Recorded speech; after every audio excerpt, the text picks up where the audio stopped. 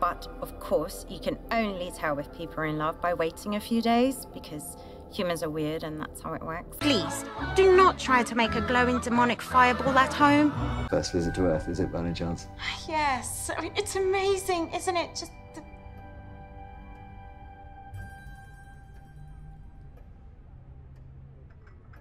Or rather, no. Obviously, I've been here for like 200 years.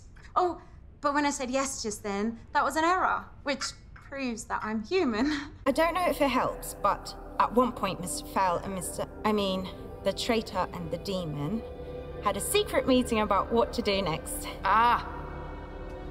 And? What? What did they say? Oh, I didn't listen. They said it was private. Hello, hello, hello. Good morning, officer. Yes, exactly.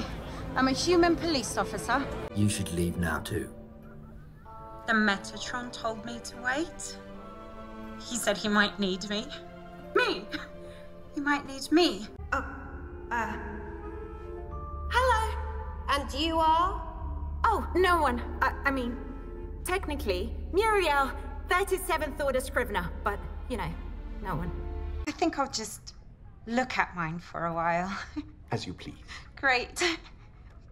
I always say the best part of a cup of tea is looking at it. and his grumpy friend, Mr. Crowley. The demon. Oh, I suppose that explains the grumpiness. I just needed to ask you about your love life. Tell me, Constable. Inspector. Well, you know, you you are dressed as a constable. Inspector Constable. That's my name. But you don't look like a bee. You look like like a murder hornet or, or a snake. So it should be in good hands. You're not really under arrest, are you? Not really, no. I'm helping you, aren't I? Yeah. I'm going to get into so much trouble. I've always wanted to ride a horse. Well, that's pretty good, actually. I'm 37th class. I didn't know that there was one down. I see. Well, all good things. What's that you're holding, Muriel? Book? It's called a book. I'm reading a book. Excellent. What a perfectly splendid thing to do.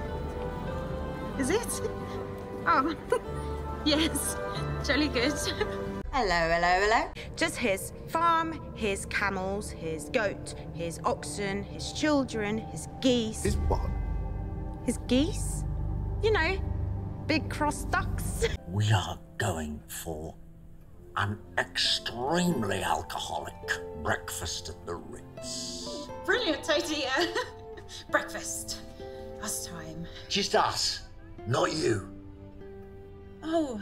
Uh, oh, right, yeah. How would I. You say, I arrest you, anything you say, blah, blah, blah, blah, blah, Blah, blah, blah, blah, blah. Good job, you've arrested me.